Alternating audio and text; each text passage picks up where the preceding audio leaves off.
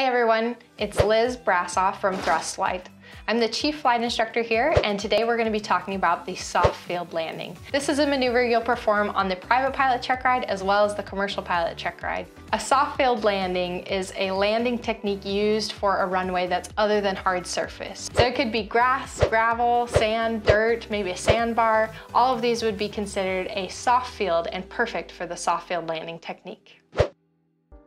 So this is soft field landing. We're just basically simulating what is going to happen when uh, you land in grass or an unprepared field uh, um, once you get your private pilot. So it's like a normal traffic pattern. So what we're going to do is a beam my touchdown point. I'm going to go ahead and pull power out to about 1800. Start a slow gradual descent. Uh, what we want to do is we're going to main we're going to try to so uh, touch down as softly as we can, but also maintaining uh, the nose wheel off the ground as long as we can. So that what that's going to require is that once we touch down, we need to maybe add a little bump of power, but also as the aircraft slows down, you need to hold, pull the yoke further and further back.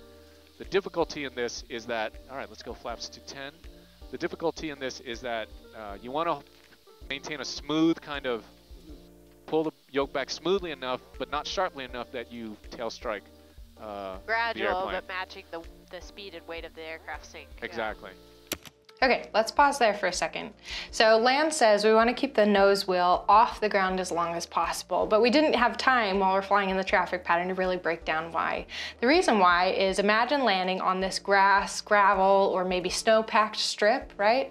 If the nose wheel is allowed to have all the weight of the aircraft on it or have um, a quick touchdown, it will sink into that soft surface, which could cause the aircraft to tip or to really dig in and, and cause some damage there, maybe to the propeller or the air aircraft.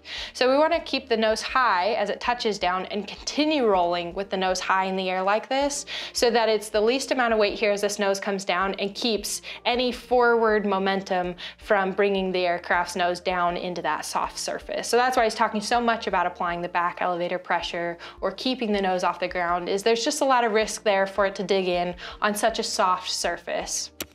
All right, so a little slow, so let me just nose over a bit. Rockwall traffic, thrust 44, left base 17, Rockwall. Okay, so Land says he's a little slow. We've just turned base. You're gonna fly your normal airspeeds on downwind, base, and final, unless your aircraft prescribes a different approach speed. We're flying the Cessna 172, so on base, typically we're doing 75 knots, and that's what he's looking for here. On final, we'll still approach at about 65 knots. Go ahead and throw my second notch of flaps in, maintain about 70.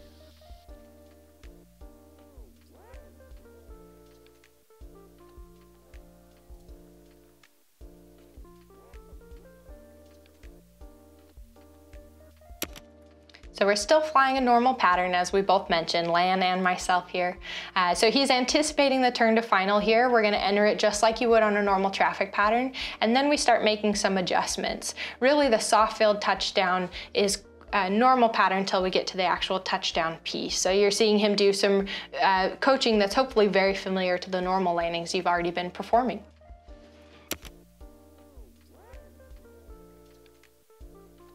Okay. Let's go ahead and anticipate the final. Short final, look at that. You see how far that went? Uh, what am I looking at? oh, the little, yeah. yeah. turn coordinator. Shuttle traffic. All right, so we'll so if you saw, he pointed on the screen to the turn coordinator. What he's trying to point out to me as a student is that we needed more rudder application in the turn.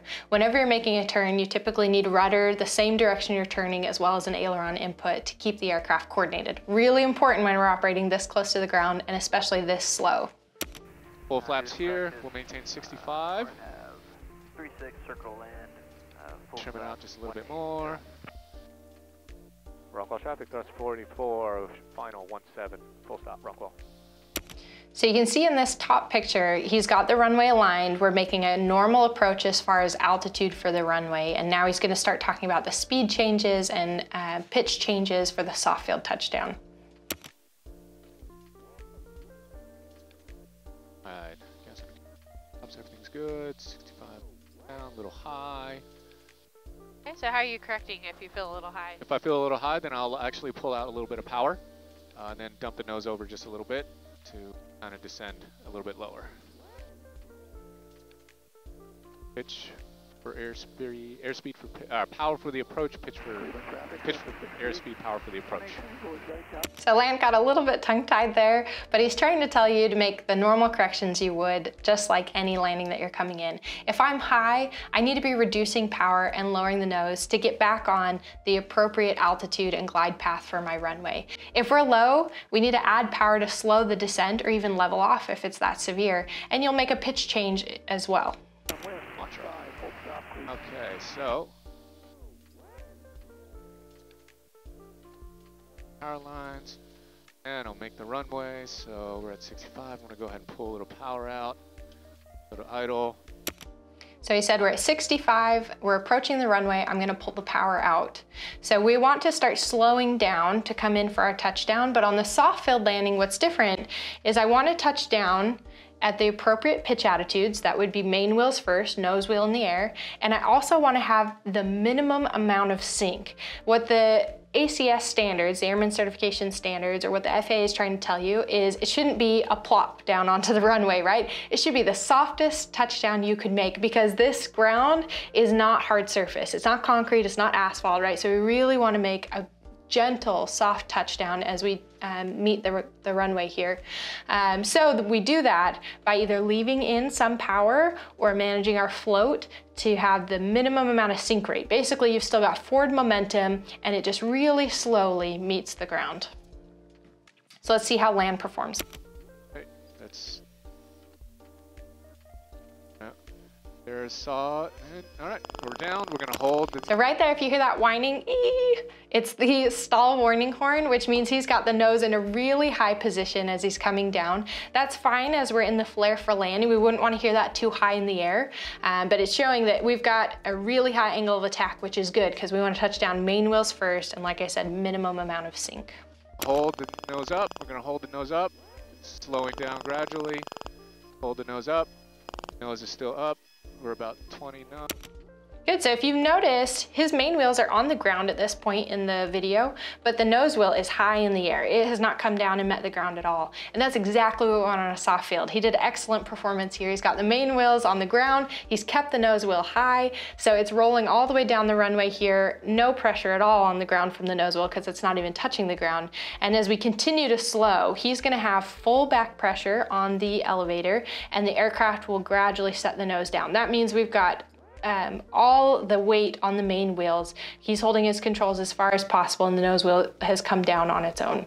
That's an excellent soft field landing rollout. The other thing you'll notice is the center line is moving right in between his wheels as you're looking in the video here. So he's keeping perfect longitudinal alignment with his airplane. As the airplane's rolling down the runway, he's making rudder corrections to keep it on the center line. That's really hard. As a new student, it's a pretty common mistake that you start to veer off to one side or the other because now, instead of in a normal landing where the nose wheel comes down fairly early, the nose is really high, so it makes it hard to see in front of you. But it's an important piece of this landing is that you still maintain the center line and maintain longitudinal alignment. That's, uh, we're still, nose wheel is still off the ground. So take a look, look at his hands here and how far back he's got the control yoke to keep that nose wheel high. In a moment here, he's probably gonna release some pressure to let the nose wheel come down. We're doing a simulation of a soft field landing. We're not actually on grass, as you can see. We're also coming near the end of our runway, so he might actually have to let the nose come down. Impressive. Yeah. yeah, so, so you had lots of back pressure there, keeping the nose off really long. That was much longer than a normal landing. Um, why does that matter on a soft field landing? Because if you run into, if you uh, let the nose down too early, too fast, you run the risk of the nose wheel digging into the mud or the grass. Okay. So, or shearing off, or you know, potentially causing a prop strike because your uh, nose wheel collapsed or your nose wheel dug into some mud, and now your prop is spinning into the ground. So if you notice, land kept the elevator back pressure in all the way till we've exited the runway. That's another piece of the Airman Certification Standards, is it says that you'd maintain the elevator input until exiting the soft area, which typically we simulate ends when you exit the runway and you're now on the taxiway. I think that's the longest I've ever held too. a a Nose wheel off the ground. nose wheel off the ground. So the last piece I want to share with you about the soft field landing is don't forget to put your crosswind correction in. You're focusing so hard on landing soft, on keeping the nose wheel high in the air on the touchdown and in the after landing roll that we often forget our basic private pilot skill of putting in crosswind correction. So make sure you're still putting in the aileron and the rudder inputs to keep you aligned with the center line and landing longitudinally aligned with your aircraft. Uh, they're going to give you no leeway on your check ride with that. That wraps up today's video on soft field landings. We hope you liked it. If you have questions, leave us a comment and don't forget to like and subscribe so you don't miss out on future videos.